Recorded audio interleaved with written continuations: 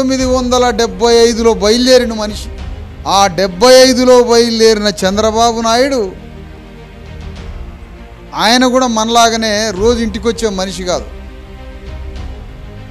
అప్పుడు బయలుదేరిన ఆయన ఆయన రాజ్యం కోసం యుద్ధం. ఆయన రాజ్యం ఎవరికి? అగ్రకులాలకి రాజ్యం.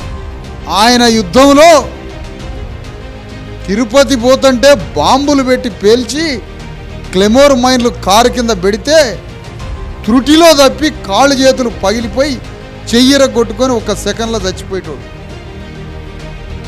ఆయన అగ్రవర్ణాలకి ఒప్పజెప్పే రాజ్యం కోసం ఆయన శరీరమే బద్దలైపోయింది. రాజశేఖర్ రెడ్డి ఆయన డెబ్బై ఎనిమిదిలో బయలుదేరిండు పాపం. ఆయన రెడ్లకి రాజ్యాన్ని ఒప్పచెపుతామని ఆయన రెడ్లకు ఒప్పచెప్పాలనుకున్న రాజ్య పోరాటంలో పాపం ఆయన పావురాల గుట్టలో బద్దలైపోయిండు ఆయన పావురమై తేలిండు.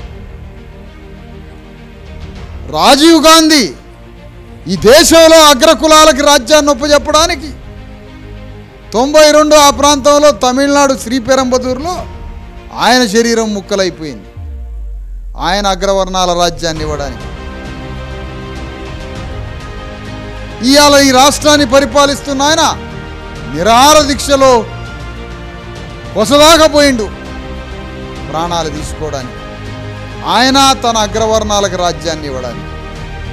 ఇంతమంది తమ కులాలకి తమ అగ్రకులాల సమాజానికి తమ దొరల రాజ్యాన్ని ఏర్పాటు చేసుకోవడానికి తమ ప్రాణాలని ప్రణంగా పెట్టి రాజ్యం కోసం పోరాడినప్పుడు నా ప్రజలకి రాజ్యాన్ని ఇవ్వడానికి నేను కూడా పదివేల కిలోమీటర్ల యుద్ధానికి బయలుదేరిన.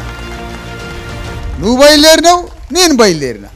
నువ్వు బయలుదేరింది నీ కులాలకి రాజ్యాన్ని ఇవ్వడానికి నేను బయలుదేరింది మూడు కోట్ల మంది పేదల రాజ్యాన్ని స్థాపించడానికి.